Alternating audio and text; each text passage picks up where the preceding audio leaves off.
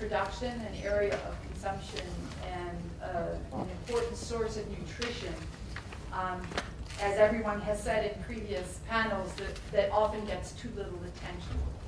Um, I spent almost 30 years working in the U.S. Agency for International Development in agriculture. And many of those years for agricultural investment were pretty bleak.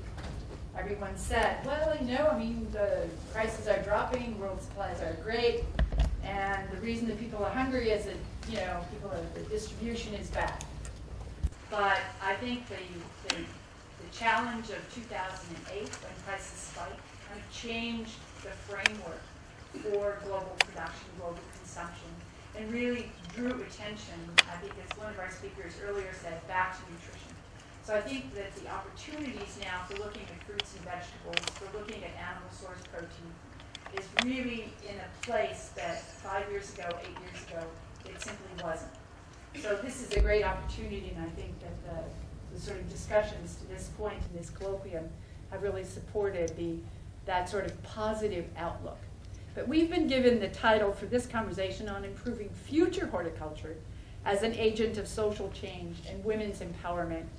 And I want to draw on the point that Doug made yesterday, that in fact the research that's done today, today is going to provide the framework and the, the, the, the resources and the materials and the thinking that's going to influence production, consumption, income earning, nutrition 10 years from now. So we really do need to take this forward look, and we have an absolutely fantastic panel to kind of address various aspects of that and how horticulture and women's empowerment might, could, should come together over the next 10 to 20 years to really improve the situation. I'd like to frame a little bit this conversation because my own perspective is that populations are becoming more urban and they will become more urban and keeping people down on the farm is probably not such a good mantra. Uh, about the age of seven or eight, my aunt put, put together a vegetable, fruit and vegetable production collective consisting of my sister and three girl cousins. And we produced strawberries early in the season, and then we produced green beans for the factory the rest of the season. So I, I cover both the fruit and the vegetable side. and I did that for probably six or seven years. And then when I was grown, I went to work in a green bean factory where we produce canned green beans. Now that will turn you off vegetable consumption forever. the smell of canned green beans for two months. Ooh. I now eat green beans, but I only eat them fresh or frozen. I do not eat canned, tinned green beans. But I think that the, the population is going to become more urban, and rural youth, such as I was at that point, moving into the urban areas is kind of an inevitable factor of life. And therefore, I think the future of horticulture, what products are grown, how they're marketed, where they fit into diets is all likely, also likely to change. I think there is going to be much greater and much more intensive peri-urban production of fresh fruits and vegetables for supermarkets and increasingly, even in countries like the United States, organized wet markets and farmers markets. I think there is going to be greater rural production of vegetables and fruits for processing into frozen, canned, and bottled products. Because I think the issue of seasonality and people wanting to eat strawberries, whatever month of the year it is, is going to persist. I think there is going to be some growth in urban agriculture, although I think I'm not quite as positive as some people are that urban agriculture and growing huge vegetable pots on your, on your patio in downtown Singapore is really going to be the wave of the future. But I do believe that there is a potential for some growth in urban agriculture. But I, the, the thing that is negative, I think, is that I see potentially a huge loss of diversity in the range of varieties of fruits and vegetables that people consume in the future. And I think Tony sort of gave us the challenge of it doesn't have to be that way. But I think the trends right now are very much in the direction of reduced diversity, more toward tomatoes, more toward peppers, more toward cucumbers, less toward some of the indigenous African vegetables, perhaps even less consumption of dried baobab leaves. I think many people are willing to accept this vision of greater peri-urban and urban production combined with more processing and more marketed field-grown fruits and vegetables. But I also think that there's a growing realization that the loss of diversity in, in the varieties of fruits and vegetables currently produced, harvested in the wild, consumed, can and must be modified. And I think here's where ICRAF and AVRDC working together really have kind of a new frontier to explore and to, and to advocate. So to address this biodiversity challenge, steps need to be taken to increase consumers' awareness of the health and nutritional values of so-called indigenous fruits and vegetables, including in the places where those indigenous fruits and vegetables are now eaten, consumed, but are seen as kind of poor people's fruit. And I think we also need to develop production and handling methods for these crops so they can profitably enter into value chains that end in urban areas. And I think Tony set us in that direction in a, in a terrific way in the earlier presentation.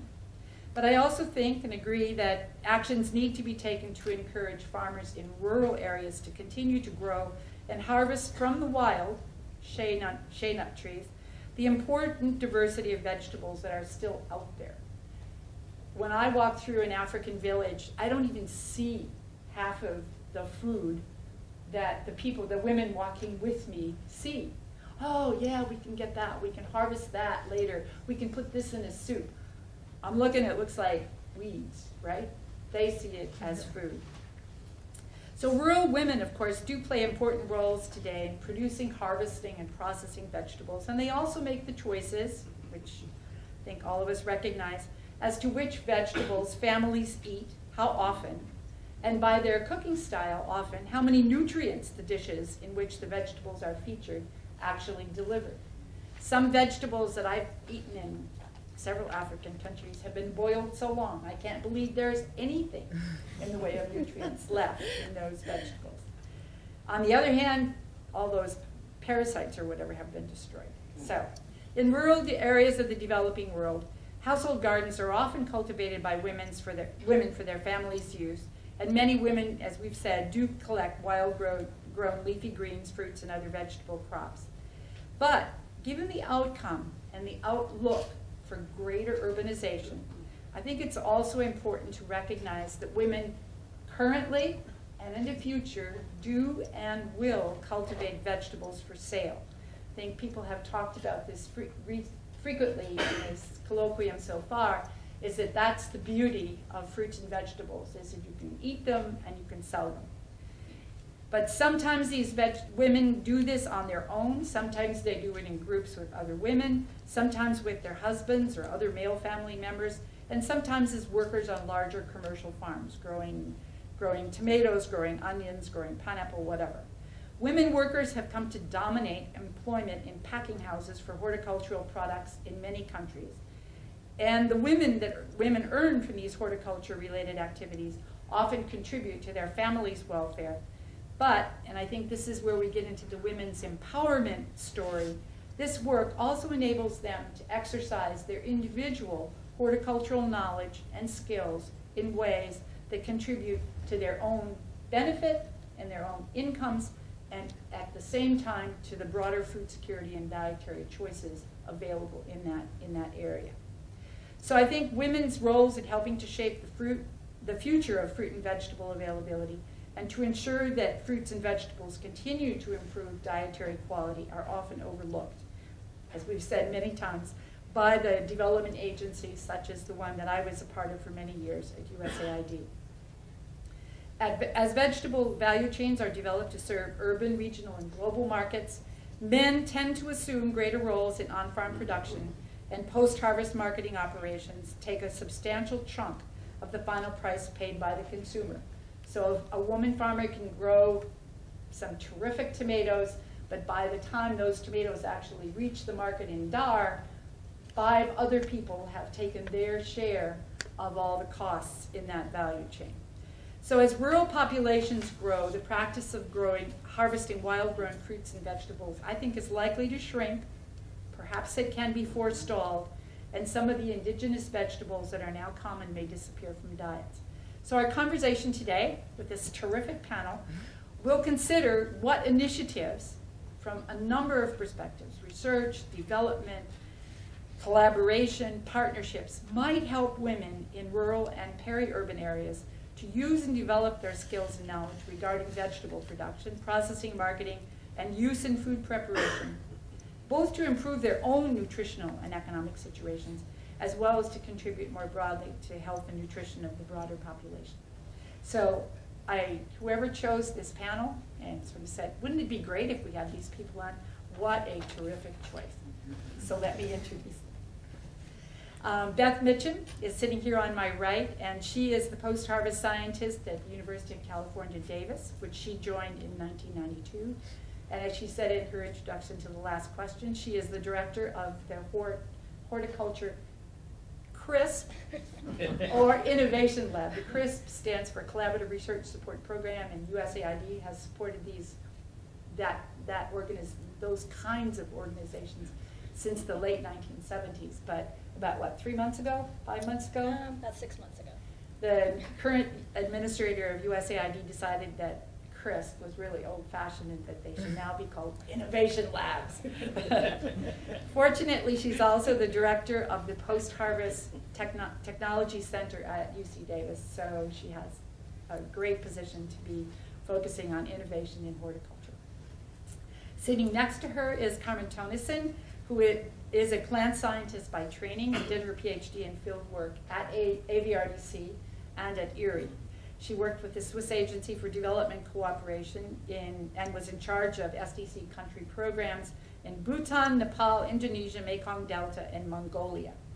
And I thought Mongolia was really very interesting because everyone of my friends from USAID who worked there came back and said, oh my God, those people eat way too much boiled, boiled meat. so you may, you may be able to tell us about vegetables. So uh, she also works with the um, Swiss Development Corporation's Global Program for Food Security and is in charge of Swiss investment in agriculture research for development, which of course is this way of linking research to development outcomes. And she chairs the European Initiative for the Ag Research for Agriculture Research for Development, which is better known as EIARD. Jackie Ashby is next in line, and she's a development sociologist. You can see we're dealing with kind of the soft side of science here. Previously a director of research in the CGIAR. Currently working as the senior advisor for gender research for the CGIAR consortium, headquartered in Montpellier, but you don't live there, correct? Okay. She is also the incoming board chair for a sister center for AVRDC, CATIE, in Central America. It's, and CATIE is a member of AIRCA, and so therefore one of, we are hoping that Jackie will stay closely associated so with AVRDC through that initiative. Next we have uh, Robert Holmer, who is, had a P, has a PhD in ag sciences from the Technical University in Munich, which he got in 1998. And he directed the peri-urban vegetable project at Xavier University in the Philippines from 1997 to 2009. And the Philippines is a great example of a lot of peri-urban and urban agriculture enthusiasts. So I'm hoping you're going to bring that perspective to bear in our discussion. He joined AVRDC in 2010, and he now serves as the regional coordinator for AVRDC in East and Southeast Asia. Last but not least, we have Nagaraj Inukanda, who has a PhD in organizational strategy from the Indian Institute of Technology. He, prior to joining AVRDC, he worked, had a private sector career in industry, working in the health, oil, and chemicals industries. And he has also worked with other international organizations. At AVRDC, he's an HR specialist, but he is also working, he is also an expert in working with nonprofits both on strategy and in the way that they um, organize and program for performance. And he is the gender focal point for AVRDC, So he is going to be the recipient of a lot of the recommendations that are going to come from others in this panel. So with that, what I'd like to do is throw out to each of these folks in sequence kind of a couple of questions, which I did cook up and shared with them, so they're not going to be like, why do I have to answer that? they know the questions. But I've given them a lot of latitude. Basically said, if you don't like the question, say, well, it's an interesting question, but I'd really rather talk about it. so they're allowed to do that. And what I'll try to do is have each one sort of talk for five or seven minutes about the sort of topic of the question. Then we're going to have a little interchange, and I'm encouraging each of them to kind of listen to what the others say, so that as we formulate things for Nagaraj to take forward in AVRDC, that in fact what we'll, we'll come up with sort of a, a more collective vision here, and then we will definitely involve all of you in the audience to participate in this important final conversation. So Beth, as the director of the Horticulture Innovation Lab, also known as the CRSP. You are leading research of a network of researchers that aim to contribute to the successful evolution of the horticulture sector in the developing world. And you also teach young students, PhD students, at the University of California, Davis, which is a university renowned for its focus on horticultural crops. And I was particularly interested to see from Tony that grapes, which are one of the big specialties of UC Davis, are also one of the, what'd you say, the most the most value adding, the highest value. So Beth is sitting right at the center of this incredible economic engine. So how do you see the future of horticulture evolving? Does it does your vision kind of sort of coincide with that which I used to frame this? And what role do you see women playing in both advancing that vision and kind of playing an active role in sort of carrying it out? And one specific question has to do, and it's something we haven't discussed a lot here. How does the emergence of supermarkets and more formal grocery stores as sources of food for urban consumers relate to the kind of innovations and technologies with regard to horticulture that you're working on in the innovation, innovation lab? And what do you think researchers need to focus on if we want to see a future in which a wide variety of safe and interesting and nutritious vegetables are available. So it's kind of a bundle of questions about where are we going, what role are women going to play, how does research and how do women in research play a role in advancing that future? Great, thank you. Thank you for that question, uh, or series of questions. So, so first of all, in terms of the future of horticulture, um, I think horticulture in the future is going to be more consumer oriented. We heard yesterday about you know the need to look at sort of the end user and work it back the other way, and I think we're already starting to see that kind of a shift in in many developed countries in terms of horticulture. Uh, where the needs and the desires of consumers are being uh, considered much more completely. Um, this translates into things like the increase in use of sustainable production practices and also organic farming, um, so uh, providing a safer um, product. But also there's a demand for more flavorful and more nutritious horticultural products. And, and really those demands are coming from consumers. Uh, so they want something that's going to taste good. If they feed it to their children, they're going to hopefully learn to eat fruits and vegetables more, which is uh, important worldwide to increase consumption for our, for our health. Um, but we're also um, seeing a more of a focus on food safety. So reduce use of pesticides, um, looking to microbial safety. These are things that consumers are concerned about, and certainly the horticultural industry is paying attention to that. I think the same kind of trends are uh, happening, beginning to happen in the developing world, and I see them as trends in the future. In that um, consumers in the developing countries are going to want the same things. They're going to want nutritious food and safe food. I think what we're going to see is a greater adoption of improved production and post-harvest handling practices. I think today there's a lot of improved practices that have not yet been adopted um, but I think through education and assistance, um, I think we are going to see that those improved practices, including better grading for quality uh, and better linkages of growers to markets. I think these things are going to develop in the future. And there are a lot of opportunities for women in horticulture. I mean, women have a lot of horticultural knowledge already. They're heavily engaged in it. Maybe it's through home gardens or through small um, production plots, but they they hold a lot of that uh, traditional knowledge about production of horticultural crops. I think if we um, help them by providing them with entrepreneurial skills and additional training, I think we can help position them to take um, a key role in horticulture as it develops further in the future. Uh, there may be opportunities in uh, processing industries, maybe in canning of uh, green beans, as Emma did. Um, also in uh, some of the uh, grading and sorting, women tend to be particularly good at that kind of detailed work. And we see that worldwide is that they tend to hold those positions. Uh, but I think they can also be entrepreneurs and be the, um, those people in charge of developing these businesses. Certainly there's a lot of interest in reducing losses as well. Um, and particularly in the developing world, post-harvest losses are huge. Um, I wanted to relay a quick story related to safety, and it relates to the issue of education of consumers, which I think is something that's going to increase in the future. In Uganda, we were told that tomatoes in the marketplace that had a white powder on them were viewed by consumers as being better because they would last longer and those consumers didn't realize that those tomatoes had been sprayed with pesticides just prior to harvest, and that was the white powder on the surface. So those sorts of situations, I think, are going to change in the future, uh, but that's going to come um, as we move into the future. In terms of the issue of supermarkets, um, I think supermarkets can have a very positive influence. Um, there are a lot of potential benefits to be gained when supermarkets uh, develop within a country.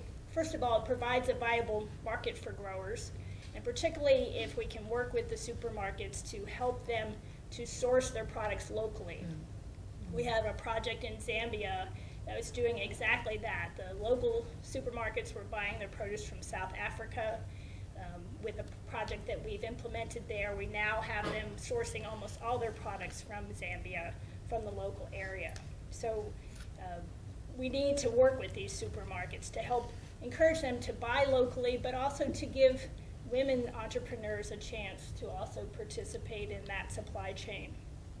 A lot of times supermarkets will help with um, technology adoption. They may provide uh, reusable plastic containers for their growers to use to transport the products to the supermarket. That's um, been used successfully in some places. Sometimes they provide extension services for the growers, so they'll go out and help them with improved seed, better practices, kind of filling a gap that sometimes exists in many of these countries.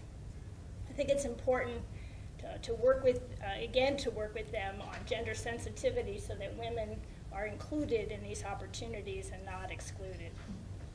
The other benefit of supermarkets is that it provides convenience for women who often have way too many things to do in their lives.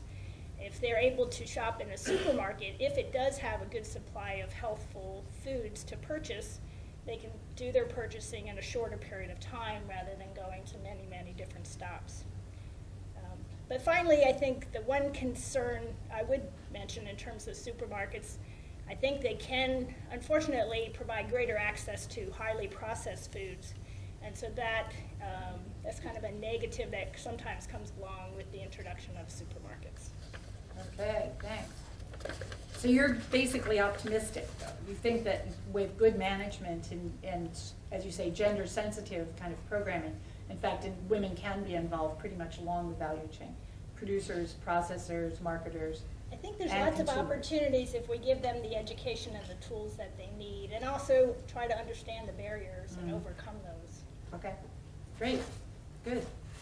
Thanks very much, because I'm sure we'll get back to some of those questions and some of those opportunities and how they can be realized. Carmen Thönnissen, coming from the donor community right now, Swiss Development Corporation, what opportunities do you see for donor agencies, such as SDC or your, your fellow members of EIARD? what do you see as your role in supporting a more vibrant and diverse horticultural sector and ensuring that women are able to participate and to take ownership and to benefit from that participation? Because it seems clear that women will continue to work as laborers, both in agriculture and in the post-harvest packing. But what can be done to better empower them to become owners and managers of vegetable-related businesses and to serve as leaders in defining the vegetables of the future? Thank you. I'd like to, first of all, the board chair of, uh, of um, AVRDC, uh, Dr. Huang, as well as uh, Dr. Keatinge and Dr. Hughes to invite me to this 40th uh, anniversary.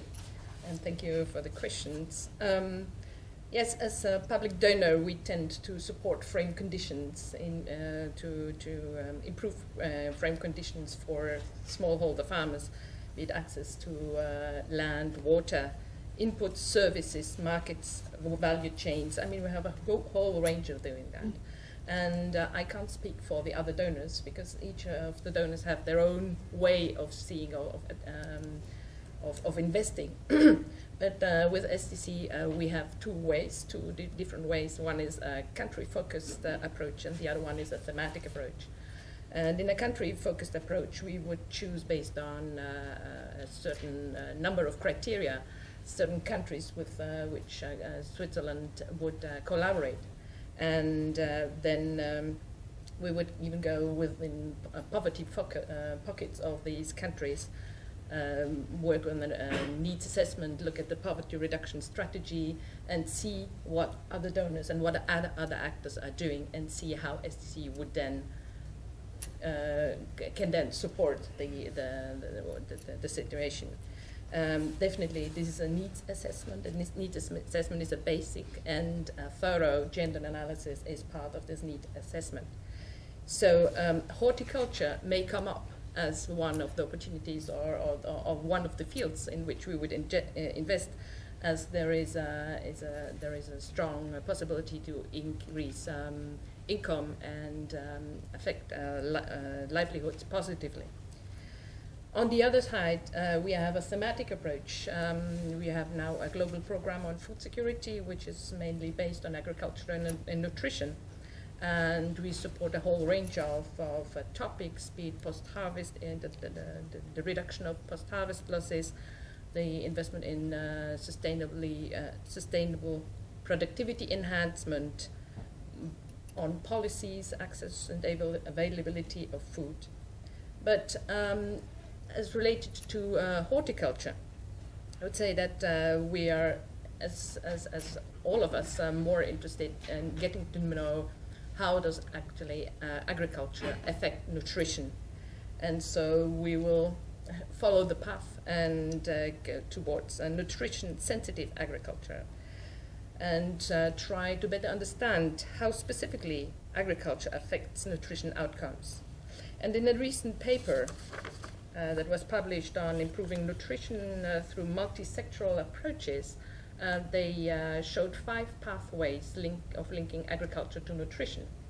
And if we look at these five pathways, um, there is modest uh, evidence or variable effects of four of the pathways, whereas the fifth pathway, which is empower women through targeted agricultural intervention, shows strong evidence. It says over 50% of the reduction in child underweight is attributable to improvement in women's status in agricultural activities, increasing women's discretionary, discretionary income, and reducing women's time and labor constraints appear to be especially important to improve nutrition. So, I think this underlines also our approach that, um, that, that we want to go in the direction of the diversification of diets, as this is also a very strongly focused, uh, a gender-focused um, approach to agriculture. While I go more into details of these uh, approaches, let me share with you that uh, SDC has just celebrated its 10th uh, years anniversary of our gender policy. And as we're sitting here, I think it's always good when you have a gender policy to share what did we learn from this policy. This policy is about gender equality, gender mainstreaming, and gender differentiated data collection in all our projects.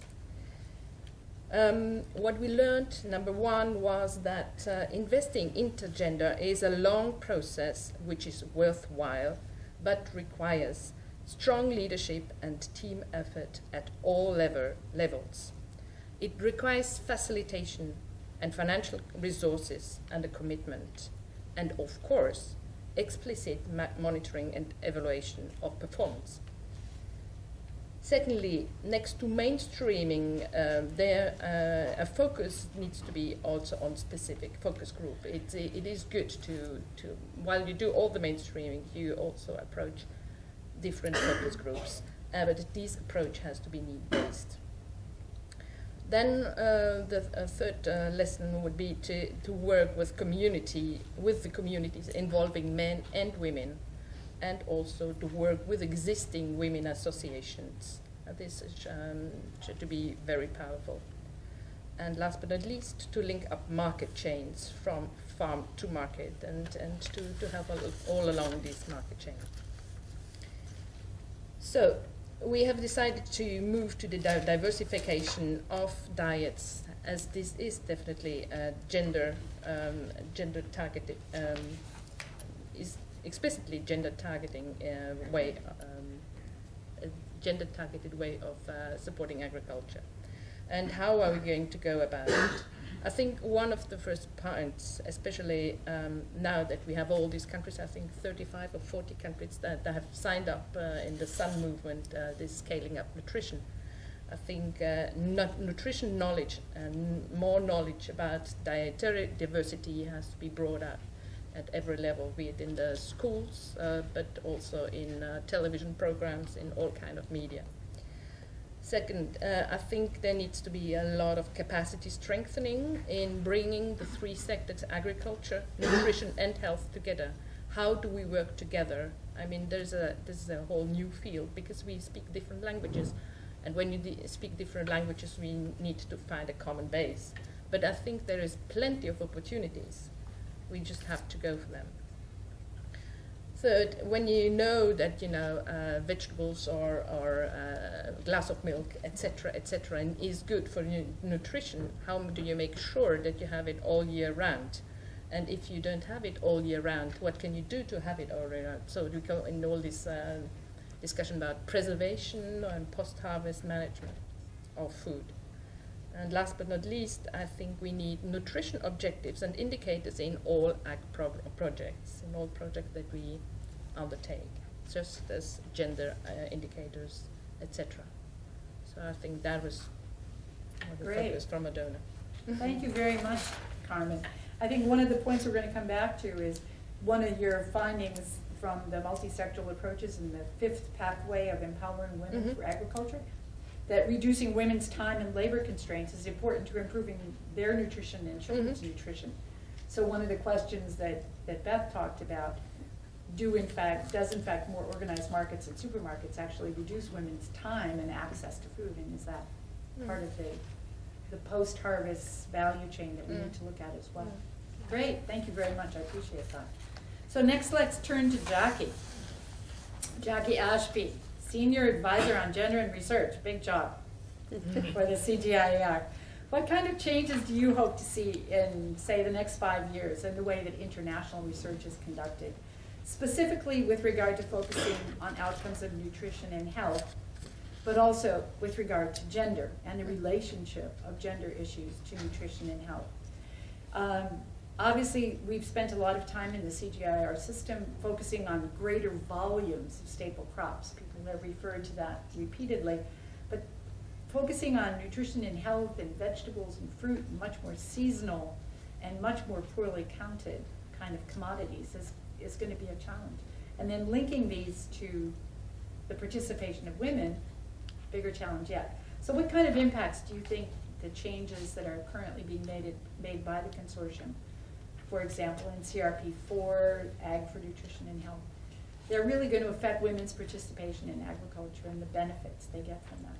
And could you share any other ideas that you have been gathering on gender and agriculture and indicators and ways to bring these together that might be relevant to vegetables, horticulture, women's opportunities and roles, and nutrition and health. Well, um, let me start by thanking Dr. Wang and, and Dyno for the invitation to speak and, and for organising us here. And say I'm probably going to answer all that selectively. um, I wanted to start by reminding us why we're so concerned about gender at this point in time.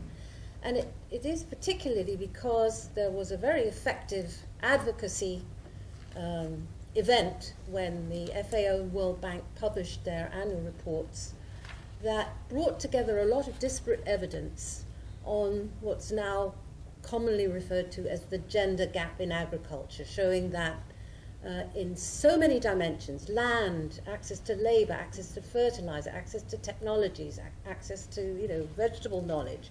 In so many dimensions of agriculture, women have a much lower level of control over or access to or ownership of these kinds of important productive assets.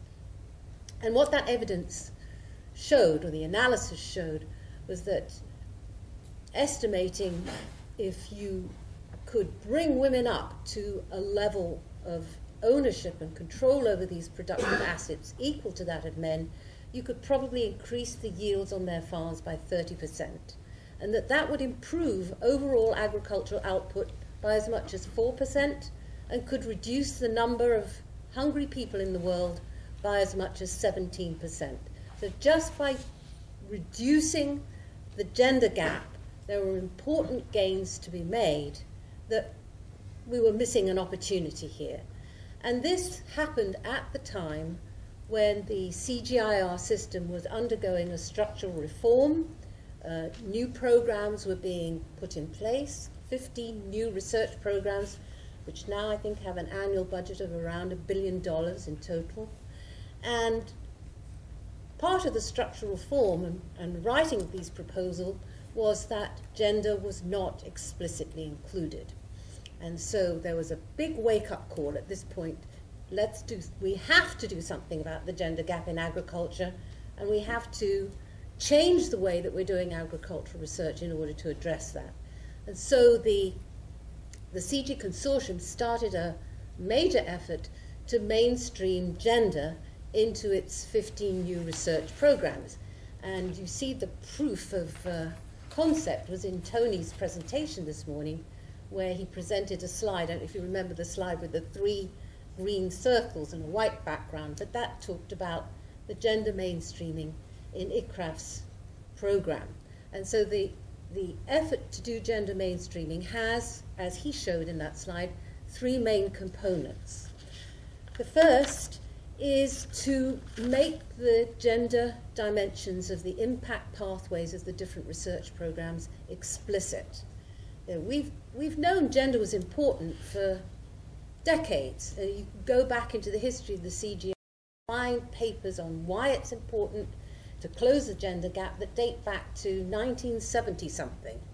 And they're in the archives, but nothing was done about it. At this point, one of the first things we're doing is to require each of the 15 programs to make the gender dimensions of their impact pathways explicit. And we do that by having each program write a coherent analytical uh, gender strategy, which explains not just the, the impact pathways, but the theory of change behind them, and lays that out.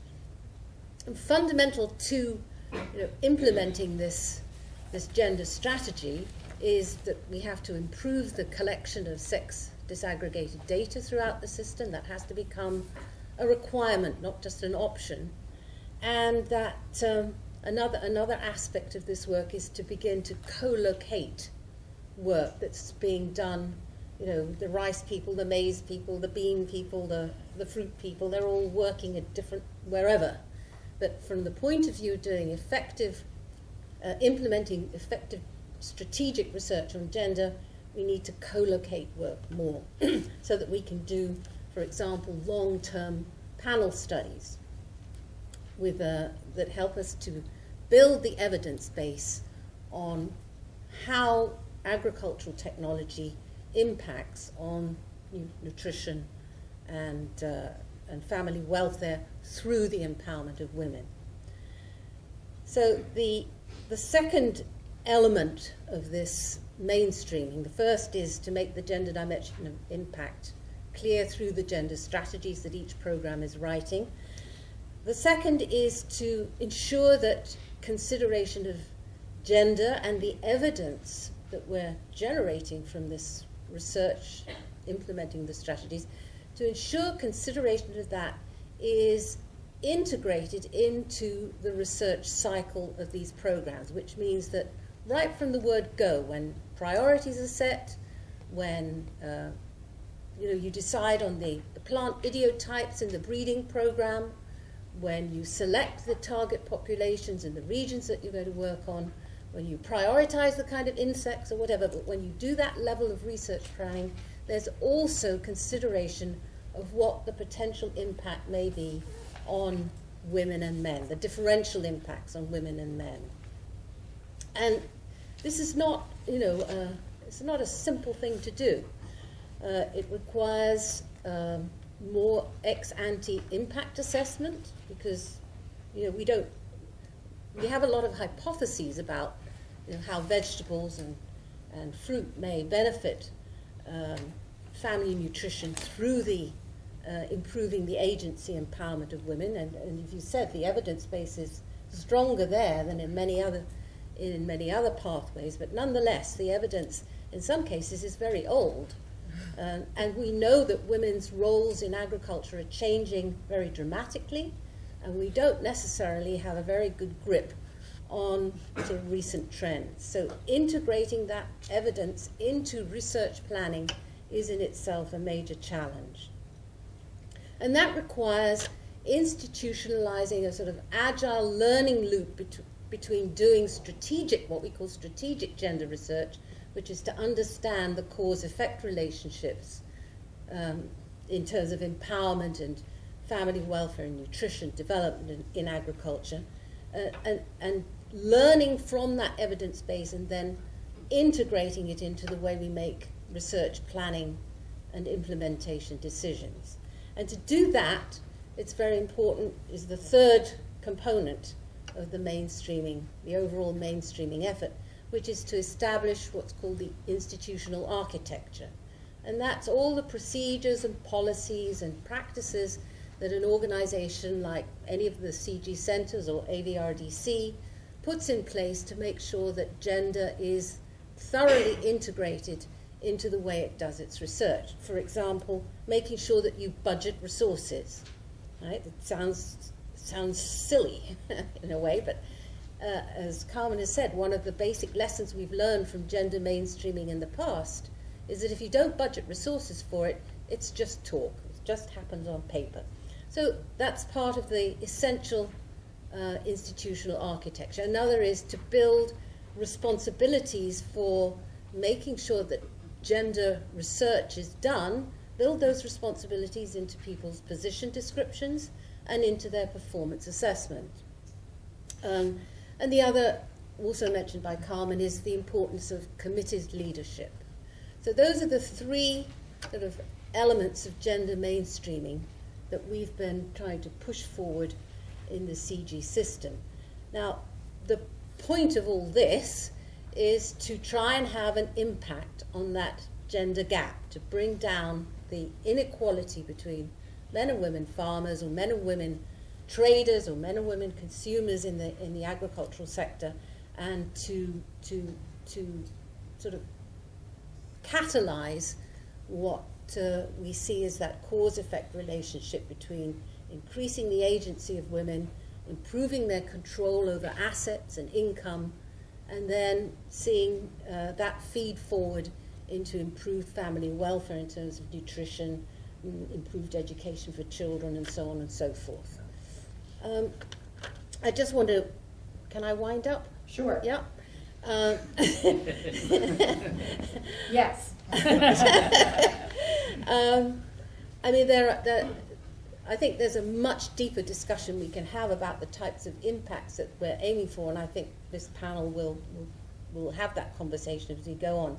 I just wanted to mention two aspects in, in which, or two aspects of the way that we do research that probably or almost undoubtedly have to change if we're going to succeed in catalyzing this impact power pathway that we, we um, uh, you know, that's, that's the sort of whole basis of the argument of why we're doing, why we're mainstreaming gender. And it's as true for fruit and vegetables, I think, as for any of the, of the other CG products, but it's particularly true for fruit and vegetables.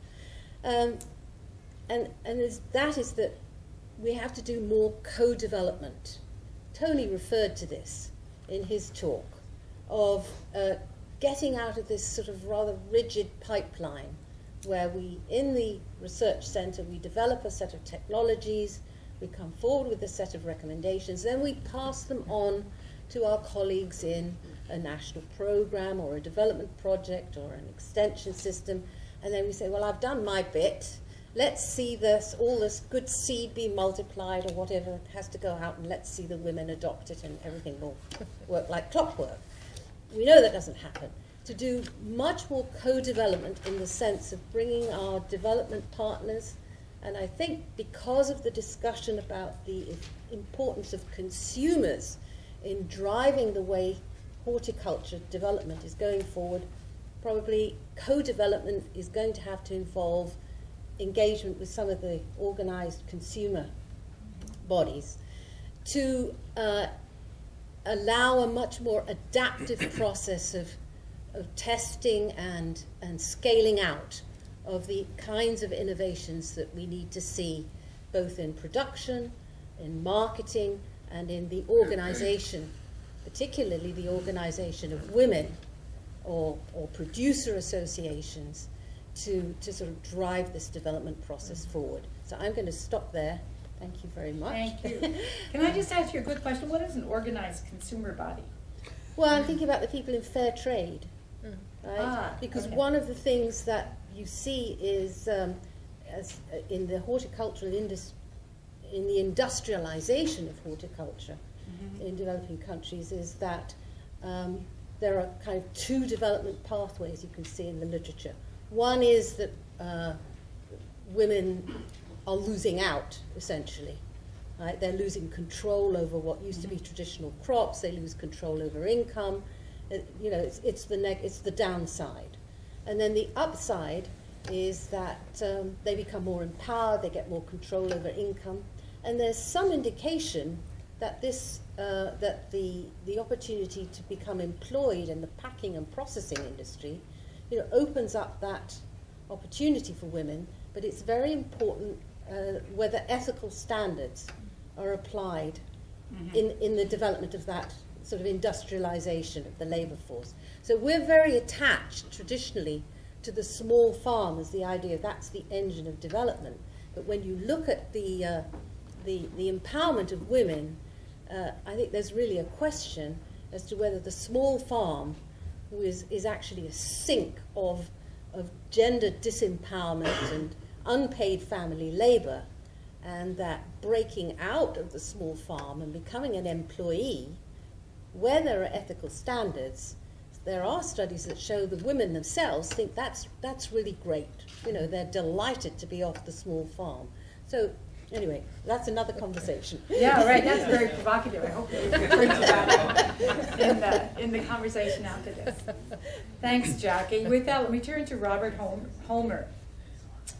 Because Asia is already much more urbanized effectively, and the sort of opportunities for women outside of the farm and off the farm are obviously much more, much greater, including in the horticultural sector, through the packing houses, through the managing of markets, through um, food preparation and restaurant operations, and so forth. What changes do you see in vegetable production, processing, marketing, and distribution systems in Asia that you think could be shared with your African colleagues, for example, and specifically where Asian women have learned a few lessons, as Carmen was saying, that they might want to share with folk, with women in Africa to say, hmm, don't do it like we did, or this is something we did that was really good.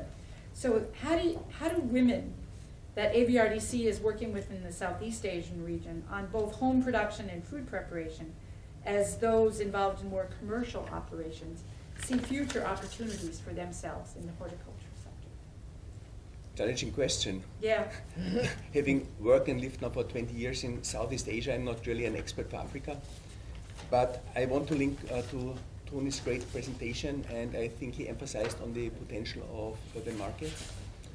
And um, if you look, for example, in, in, in Bangkok, um, urban markets are uh, mostly the retailers of the small vegetable markets, or as Dyno said, they say also fruits uh, are sold there, basically women, and also um, the buyers are women. So from the consumer side, I think um, women uh, know about maybe nutritious uh, diets and look there for their source of food. And we just finished a study in Bangkok, and um, we found 161 different kinds of vegetables um, traded and consumed uh, within Bangkok. And um, I'm so happy to, to, to, live and work in Bangkok because the variety of, of just incredible. Of fruits, uh, if we add fruits, we come more than 200. And um, there are, for example, tops of cashew tree uh, uh, that are eaten, specific flowers, and most of these are not available in the supermarkets, but are available in these small street markets. The same goes for the small um, street food vendors, um, uh, basically also women. And um, I think this is, this is a big opportunity. And I want to link also what Sophia Kaduma mentioned about the young entrepreneurs in Africa that look for the opportunities to engage in horticultural production. I think this is another uh, huge opportunity. However, we have to look at um, the legal situation. Uh, in many countries, it may be difficult for women uh, to buy land, either legally or socially. Um, uh, I think these are issues uh, we have to consider.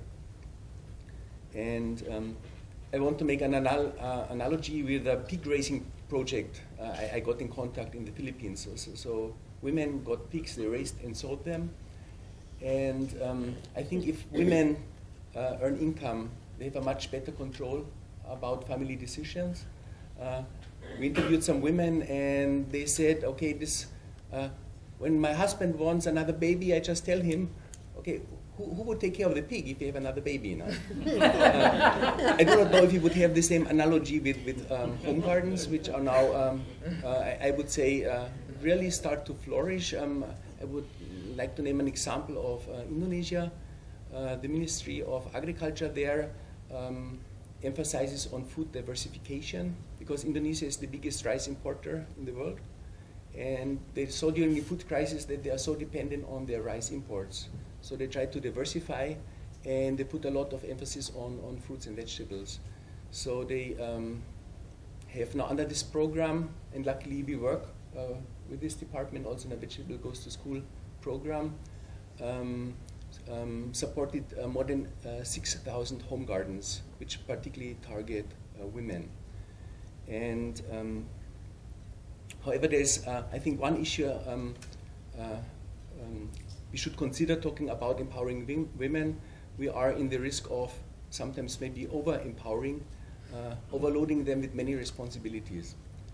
And um, uh, they have to take care of the family, then they have to tend to the garden, etc. And sometimes the risk um, we should be aware of. And um, also women, we should not treat women isolated. I rather um, would emphasize on a family-based approach. Uh, I think sometimes it's unfair to, to, to uh, fathers or brothers am among the crowd, uh, a crowd to say it's only women who care about their children. Uh, they're good fathers and good brothers too. Mm-hmm. No? Maybe there are examples the other way around, but they're also bad mothers, may sometimes. No? and, and, and, and, very often, women, uh, women do not want to make decisions um, maybe without approval of their husbands. No? Uh, mm-hmm. not, not only because they're scared, because uh, anyway they're married to each other now for, for, for, for good reason. we hope. And um, I, want to give an example of uh, a training course uh, FAO tasked us this year to, to hold in, in, in, in Thailand uh, for uh, extension workers or, uh, from Afghanistan. It was uh, for one month on vegetable production and nutrition. Originally, FAO wanted only to train women. However, there was a lot of commotion, and the Afghan partner said, no, we want also men to, to join. And the start of a training was, was quite a challenge because the men refused to sit together in a van with the women. No? And I said, sorry, we have only one van and it will not go twice, and you're now in Thailand, and uh, that is how it is. And, but, but it worked quite well. No? And um, again, I think our staff, and, and, and luckily yesterday, I'm, I'm so happy that Sheila was acknowledged uh, for efforts. Um, she, she did it very well, um, and it worked very well. Um, in the course of, of, of the program that men and women worked together in the vegetable garden. And at the end of the training, we had a joint cooking session. So we made different teams and they had to cook nutritious food, which was evaluated by groups. And most of the Afghan men admitted it's the first time we cook, first time we slice vegetables. But they enjoyed it so much. And um, wh- what I want to emphasize now, um, um, we should try to, to, to look maybe more more at a family, no? not not necessarily focus only on women. No? And I think through this approach, empower women. Um, the other question was, um, yeah, the future opportunities for women in horticulture.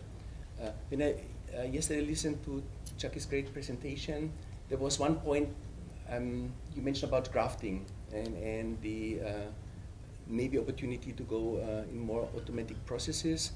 Uh, but then I recalled um, about uh, Vietnam, where now about 100 million graftlings per year are produced uh, to, to grow grafted tomatoes on more than 5,000 hectares annually. But mostly this is done by women. And um, would they be uh, lose their jobs? Maybe this is a question we should also um, think when, when, when we, we go in, in such kind of technology development and I had a chat yesterday with Jim Fallon um, about agricultural research. And I think your opinion was does agricultural res- research rather uh, impede small farming? Is it rather not, um, uh, uh, is it not rather making, uh, targeting huge enterprises and give more constraints to small farming communities? And I think that is is, uh, I think, also an aspect we should look into now when we talk about how to design our research program. Do they really uh, target uh, the interests of small farming uh, uh, communities? Thanks, Robert. You that final point that you raised, I think, is very interesting, and the question is, is vegetable research inherently, you know, biased toward one scale or another, large scale or small scale, or is in fact vegetable research fairly neutral, scale neutral? That is, it can be used on backyard gardens, homestead gardens, school gardens, as well as large to medium scale enterprises. Or, I don't know, and it's, it's a question as to whether, in fact, vegetable research, because it is so labor intensive, may in fact be one of the more scale neutral approaches to research as opposed to, for example, maize or something. Yeah, interesting, very good, thank you. Um, what I also heard you kind of saying implicitly to, to draw my question with regard to um, opportunities for Africa is you're saying that you know women in Asia have actually stayed very engaged in both production and marketing of fruits and vegetables, and obviously as consumers, and you and, and and the engagement remains empowering both in terms of income generated as well as the nutritive value of, of the product. I guess one of the questions that we may want to come back to is is the issue about whether in fact there have been any positive sort of interventions which have enabled women to stay in agriculture product I mean in horticulture production or in horticulture marketing that you found to be particularly helpful and empowering in Asia that we could think about in terms of African interventions. So put that in the back of your mind, we'll come back to it. Good. Let me then turn to Nagaraj Inukanda from AVRDC, and partly because he asked where his HR hat, I want to ask him how important it is for AVRDC and other research institutions to build capacity among scientists to be se- sensitive and cognizant of gender issues and to incorporate gender analysis and tools in their work, as Jackie has just said, is part of the CG requirement now. And Furthermore, what do you see as necessary skills to really facilitate research understanding of how to include women, get women's participation, and think about facilitating change in that focus group of rural women, urban women, women in markets. So what approach does AVRDC take to accomplish this sort of goal of gender, gender sensitization, not only on women researchers, but eh, across the board? And do you find that partner research institutes are also facing a capacity challenge with regard to both designing and implementing gender sensitive approaches to nutrition, nutrition? And how do you recommend that AVRDC and your partner institutes really try to address the challenges that Jackie laid out for CG centers more broadly? Thank you, Amy. Let me thank uh, Dyno for giving me this opportunity to be part of this panel. Earlier, anytime when I used to talk to people, they used to ask me a question, how difficult it is to recruit women scientists. This is a, uh, what do you call it, the conventional question which people used to ask HR person. But it's not so difficult in large part of your job, but in some areas you have difficulty in terms of expertise, in terms of geography you operate. But the biggest challenge, whether you have men or women scientists, is the capacity part. And it is quite important, having listened to so many of uh, the speakers emphasizing the empowerment of women as part of the impact uh, continuum. It is uh, it's mandatory for every organization to build capacity. I remember uh, a couple of years back uh, when IFPRI organized uh, the conference of linking agriculture, nutrition, and health. They talked about, in fact, that was one of the key conclusions, which Tim also referred yesterday. Women being central to agriculture, health, and nutrition because they play all the three roles, it'll be good to focus on women and work with women. And especially these agriculture research institutions have to take that as a sort of a priority in their work well said, but many of us, we don't know the how part of the story, mm. how to do that. As Jackie rightly said, CGIAR centers have been focusing on gender for more than a decade. Decades, yeah.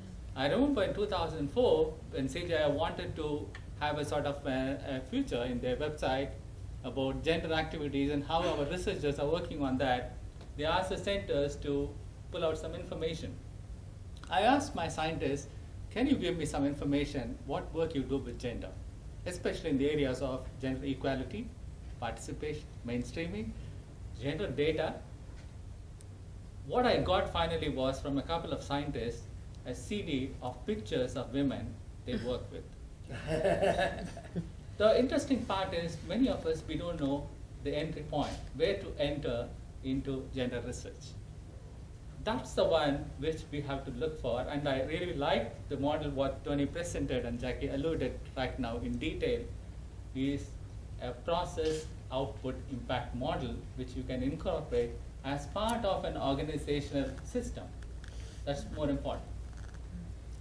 Now coming to capacity, while we recruit, we do ask our scientists questions about gender sensitivity, etc., how they are positively uh, inclined to work with women, work with men, work with marginal societies.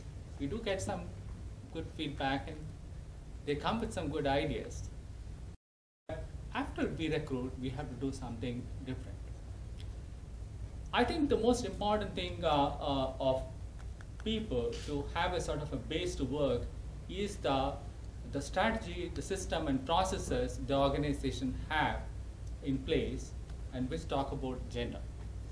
For example, we, me and Jackie, we were recently reviewing our strategy document and MTP document to find how clearly we are articulating uh, the principles of gender and what we want as gender goals, and we found they are not really there. So we are trying to revise those documents in line with what we want to do. The second part is we have around eight or nine core skills which we want to every scientist to have them as part of their uh, job. Uh, it includes project management skills, M&E skills, how to communicate science effectively, data analytics, but gender is not there. But now we are looking at as one of the key components out of the eight skills that could be one of the skills which will be part of the uh, uh, competency set. Now, it's very easy to say again in a framework, in our articulation, but something has to happen in action. Good, the CRPs are pushing us now. We are into two CRPs. In both the CRPs, gender strategy, as Jackie right, and she is driving that, I know about it. The gender strategy is clearly articulated, but there are gaps, but still we have to. That has helped us to look at gender training as an important first step to move forward. In fact, we are organizing gender uh, training, which is a full one-week program in November with the help of Dr. Barun, who had worked with you. And this workshop will really focus on the concepts of gender, gender analysis, participatory methods, and how to integrate that into our project. In fact, we have a one-day field work also where we are getting into the field and talking to the farmers and incorporating uh, the feedback into our research work. We hope that's going to help many of our scientists to have an entry point into their projects. Okay, skills are enough. Articulation, communicating to the scientists what we have to do is mm. okay. But the next step is how to integrate them into the performance planning process. Mm. That's very important. Anything which is not linked to the performance doesn't happen. If you have an MTP, if MTP stands alone and not in, in as part of your performance goal setting, MTP is an MTP paper. That's all, nothing beyond that. So the best way is to link performance to the goals, what you set, and more specifically, we may have to encourage scientists and also mention that 20% of your score or 10% of your score goes to gender-related goals. I mean, that will help us to move forward. Having put the performance system in place, pushing, motivating scientists to set goals and asking them to perform, you have to recognize extraordinary gender-related performances among them. So rewarding them also makes a lot of sense. So we have a whole sort of a value chain approach starting from communicating to scientists what we want and setting the skills in place, training the staff, and also helping them to achieve those goals, recognizing them. So with a $15 million budget and uh, 300 staff and around 40 odd scientists, it's very difficult to address empowerment, empowerment of women in all the areas where we work. So it's a big challenge. So there is a need for us to work and the partners play a critical role. In fact, they have more local knowledge than we in terms of working on gender. They know the local social processes. In fact, social action, I don't think so we can train all our scientists how they can move social action. The social action comes from the partner staff. And there comes how we network. It's, you know, network in partnership is not just uh, uh, signing an MOU and asking them to be part of that. As Carmen rightly pointed out, allocation of resources is very important. You have to allocate money. And also help the NGOs or the partners who work with you to adjust their competencies in line with what you don't have. If you look at it, sometimes many of our partners duplicate resources. For example, they need not have uh, high-fi agriculture scientists, breeders into their uh, disciplines. If they are going to do delivery sciences, probably they can be more focused to the, those areas than looking at duplicating what we have. So it's better we have more sociologists, more anthropologists with the partners who can do a better job instead of training the scientists again with them.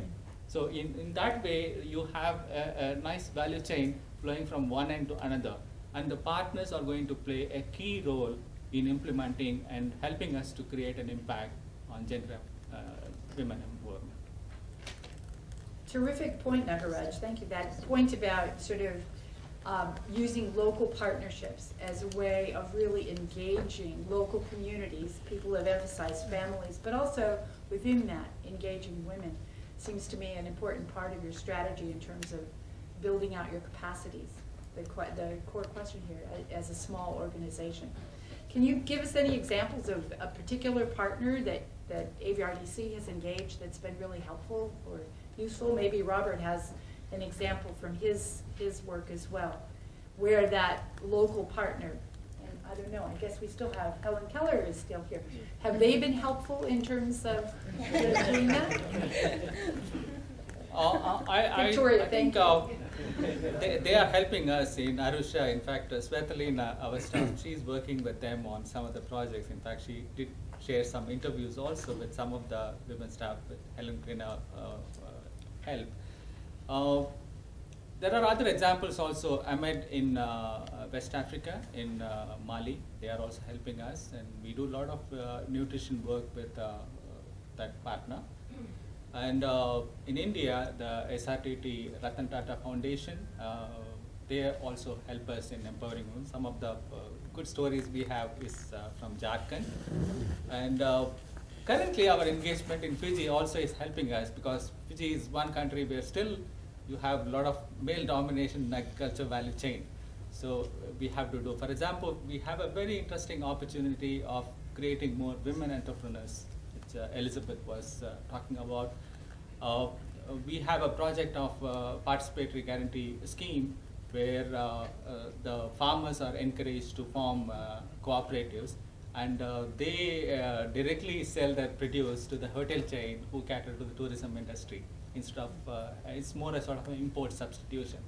But the problem is it's all male dominated enterprises.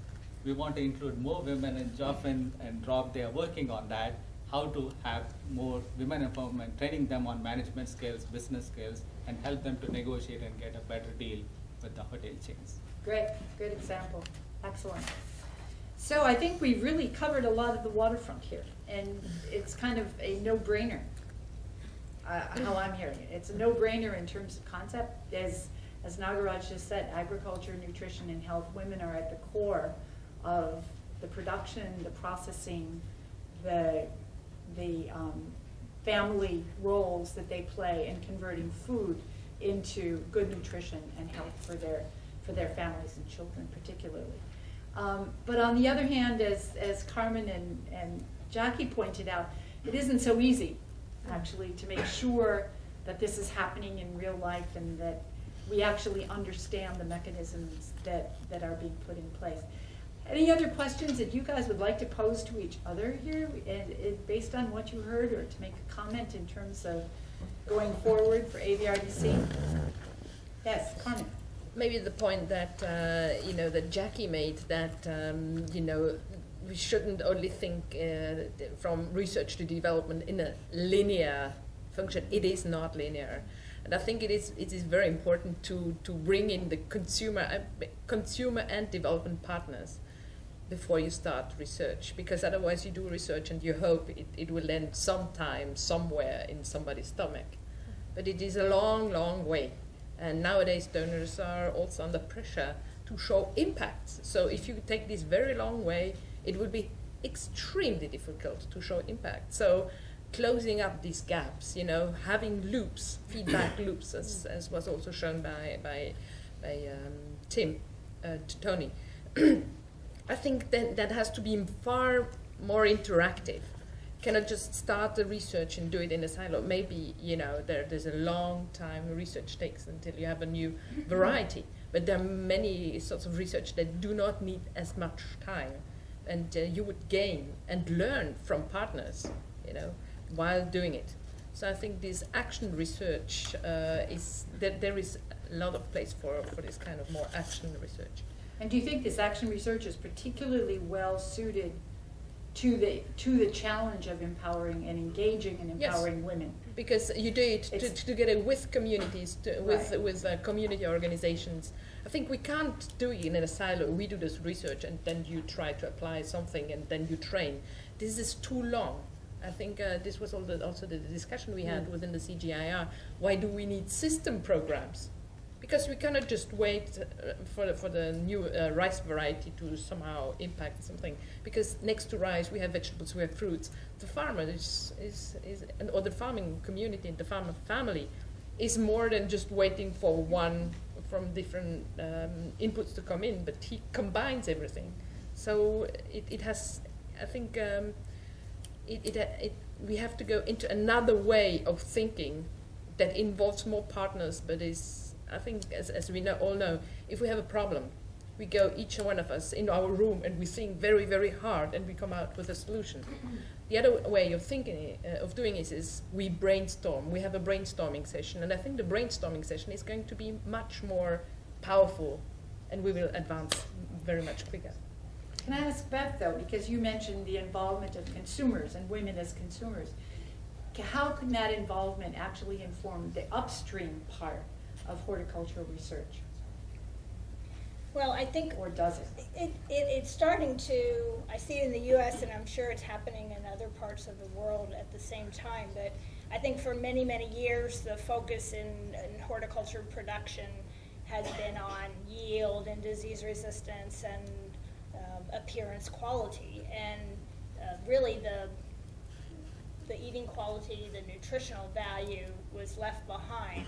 And it's really only because consumers are having uh, renewed interest in their health and their nutrition, but also, you know, the whole food movement. People are interested in how well things taste, and they're demanding better uh, eating quality and better nutritional quality. And so now we're seeing that, you know, the seed companies, the breeders are breeding for higher nutrition. They're breeding for uh, better flavor, and um, people in some cases are willing to pay a lot more for those varieties. So it's um, and it's trickled down to to more you know mainstream uh, commodities. So I think um, consumers have had a voice, whereas in the past they they didn't. Mhm. Okay. You think that, how, do- how would you recommend that that voice, that consumer voice in Africa, though, for example, be mobilized? You're here, you're talking about sort of the foodie groups in the United States and UK, But I think it does. the new happen. restaurants. I think it is there. Um, it is there in Africa. I know. Um, I've heard in Kenya and Tanzania. Uh, I mean, the, maybe it's more the um, urban population, but there's a there's an interest in nutrition and nutritious foods, and in fact, the whole African indigenous vegetable movement has become very popular because people recognize that this is a more nutritious product, and um, so they're wanting to eat these products and. Um, so we're seeing them now in supermarkets uh, being offered to consumers. And so I think the demand for better nutrition, I don't know if, if the flavor issue has become a big issue. Um, I think maybe the flavor, maybe the flavor's still there in most of the products. Um, they tend to be harvested more mature. Um, but, but in terms of nutrition, I think the demand is starting to be felt and it is having some effect on what products are in the market. Great, great.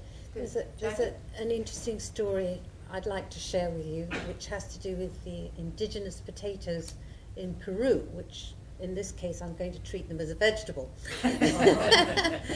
um, the, a process started of working with farmer groups and farmer associations, and they decided that one of the things they really wanted to do was to rescue their local biodiversity in terms of potatoes.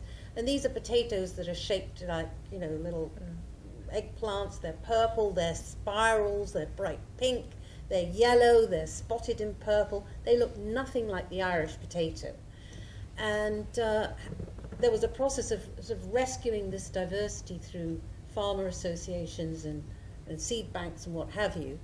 And having done that, they said, okay, now we've, we've got these in our back gardens again, thank goodness. And we haven't completely lost them. What are we going to do with them? And they started taking them to local restaurants.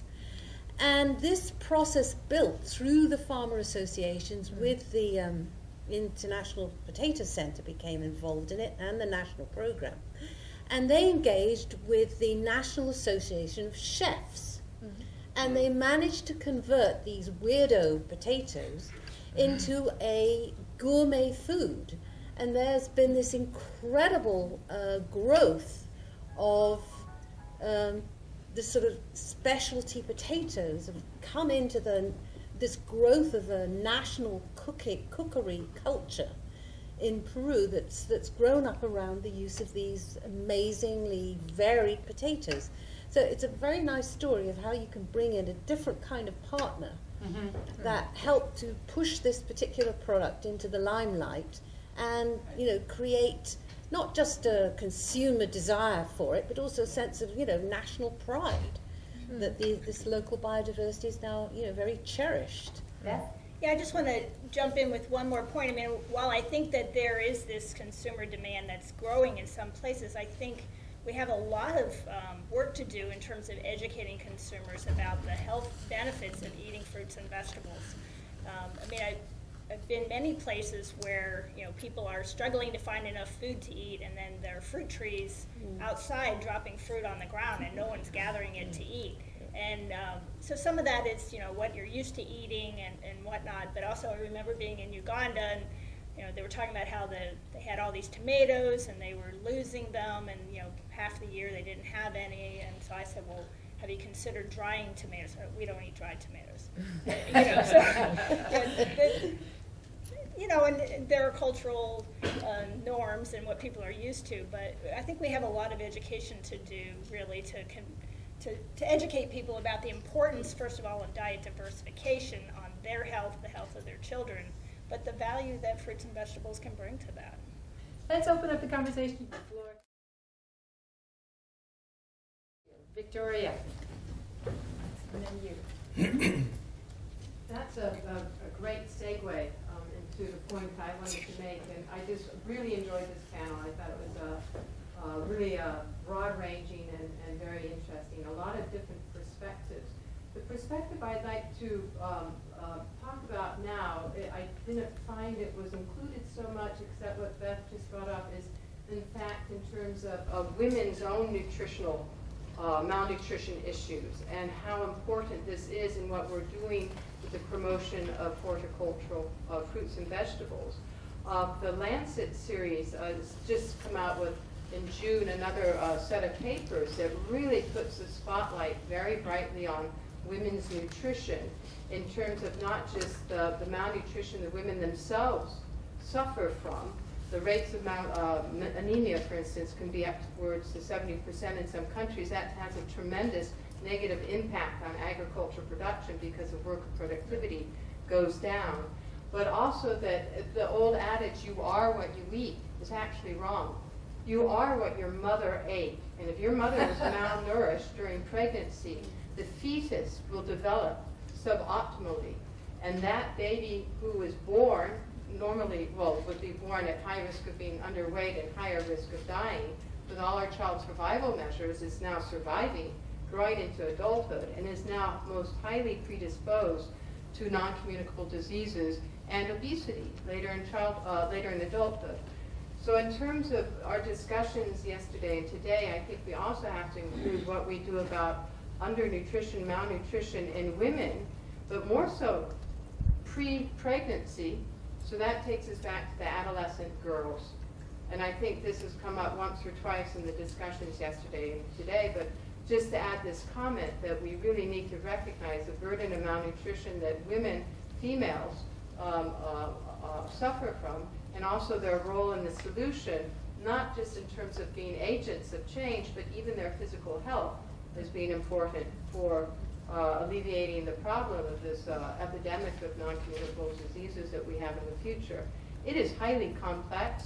It's also a landscape where we're learning new things every day, uh, but it's something that we really need to recognize. Thank you. Great, thank you.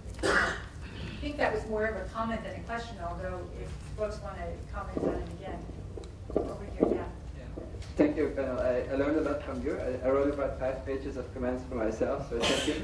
However, I felt that the discussion was very much about gender and agriculture in, in general, and I missed the specifics about the challenges and opportunities to horticulture. Whenever horticulture was mentioned, it was always very positive, as, a, as if horticulture can close the gender gap more than any damn other agriculture. And uh, I would like to hear a bit more about the challenges. Uh, is it really so rosy for horticulture? Are there specific challenges for vegetable producers uh, why it might not actually close the gender gap or might even widen the gender gap? Yeah. Jackie, do you want to make a comment? I actually can make one comment to start, based on my, in my experience, is that one of the reasons that, that women are very associated with horticulture is that horticulture is a very intensive production enterprise. And it doesn't take a lot of land. And the gender gap that Jackie sort of noted with regard to access to land means that women can often grow fruits and vegetables and they cannot grow staple crops. So in fact, women tend have have an opportunity, even when it's production for market, they have more opportunities in the horticulture sector than in the staple sector as independent producers. Secondly, women are, in my experience, own, in, and this is from Africa, sorry guys, they own trees, they can own trees, even if they don't own land. And as Tony pointed out this morning, shea nuts, for example, are, are often owned by women. In northern Nigeria, where I work, women own baobab trees. So the entire baobab leaf industry was controlled by women who never went out of their houses because they were all in purdah. And they had people bringing in the branches from the trees and then they picked them up and dried them. So again, you have this kind of association of a specific kind of agriculture, which was horticultural vegetables, with, with women. So there are, there are lots of examples. In the Philippines, where I lived for a while, women had the responsibility for certain kinds of greens that men just didn't do, or for certain kinds of other product, production products, which I can't remember now. It's been a long time. So I think that there there are some there are some gender specific women roles with regard to um, fruits and vegetables, but particular vegetables. Um, I also think that women have women's roles in marketing especially marketing vegetables. And this one, I don't actually understand very well. Um, sort of how this evolved and how it's evolving in Asia. But when you go to virtually any Asian market, the vast majority of people selling fruits and vegetables will be women. The same, I don't know, Sophia, if you want to talk, but in Africa it's also true that a lot of the, the sellers of fruits and vegetables are women. Why is that? Because the margins are quite low, because you can buy quite small amounts on a daily basis and sell them. I'm not quite sure exactly what. But this may be, in Jackie's terms, one of the things to better understand sort of the role along the horticulture value chain, to look both why it exists, whether it's positive or negative in terms of opportunities. But other comments from you guys on the, on the panel here? I'll, I'll jump in uh, with a couple comments. One of the one of the risks we have um, is that as horticultural production becomes more profitable, sometimes women are usurped by um, males in the community or within their own families uh, and can be pushed out of the, the market. So that's something to, to watch for. And um, I think that's why when we, when we offer programs for women, that it's good to include the family, include the community. I think if, if men are educated about the potential value to their family, to their community, by having women engaged in an entrepreneurial activity, um, then maybe they'll be less likely to uh, usurp them completely from that activity. But I, I, um, I often think about a story we, these uh, women that we taught to be farmers in Zambia, uh, and they were selling their products to the local hotels and supermarkets. And when we visited with them, we asked them if they had invited the men from their communities to be part of the program, and they had got this big smile on their faces, and uh, they said, well, they wanted to be part of it, but all they wanted to do was hold the money, so we told them no. Not such a gender specific. Great. Other questions? Other comments? Uh, thank you. Uh, I think I, I learned a lot and listened to many of your comments. And I uh, start to wonder that I think uh, we should be gender sensitive. I think that for scientists, what I learned today is yes, when I want, when we want to develop certain technology, we need to be gender sensitive. I mean, who are these technology for? But uh, we also understand that if we want to create impact in any society, we have to also culture sensitive. And then you talk about, I mean, Robert talked about that. I mean, for the training course, in the training course, the African men, I mean, do the cooking for their very first time in their lifetime.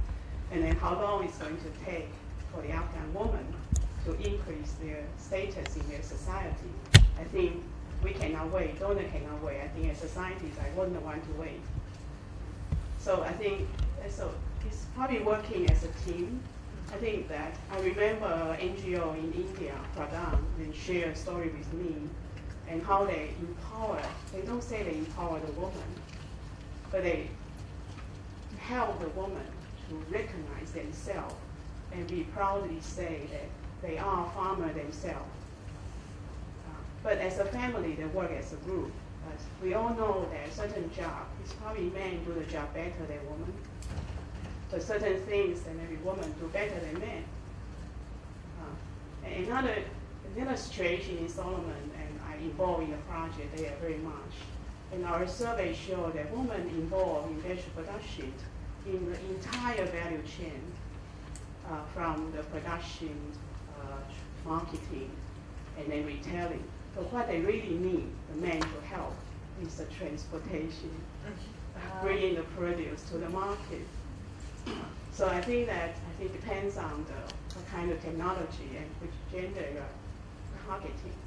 Uh, so I would I would really say that we need to be gender sensitive, and definitely we need to be culture sensitive. Great. And address some of these gender gap kind of issues that emerge from the culture sensitivity. Good. We are just about, I'm just going to say done. We're out of time.